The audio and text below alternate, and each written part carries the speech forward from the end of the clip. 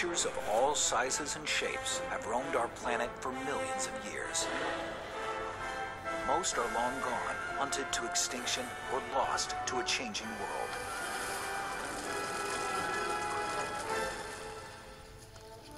But our ancestors, mammals, survive.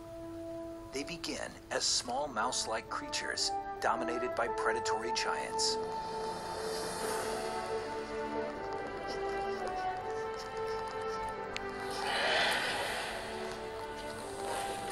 65 million years ago, their world turns upside down, and mammals begin their rise to the top in life after dinosaurs.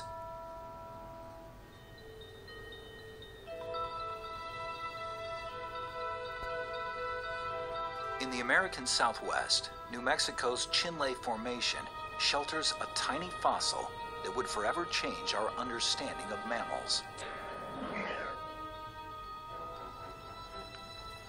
Paleontologist Adrian Hunt's discovery of Adelobasileus is the find of a lifetime. You can tell from this tiny skull that the living animal was no bigger than a mouse. But this tiny skull was the starting point for all mammals, including humans like us. The fossil reveals a creature less than 5 inches long that first appeared nearly 225 million years ago. It's the oldest known mammal, and we can trace our roots and more than 5,000 mammalian species to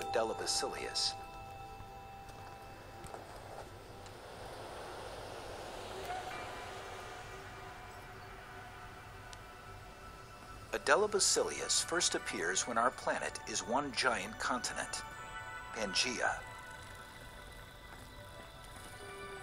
Amphibians and reptiles are the dominant animals living with newly arrived dinosaurs and mammals. Creatures like the 15-foot-long plant-eating Desmatosuchus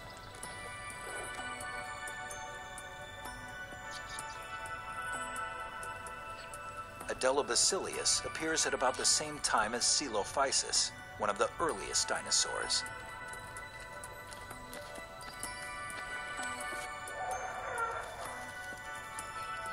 To avoid predators, mammals live in the shadows for safety, but sometimes there's no escape.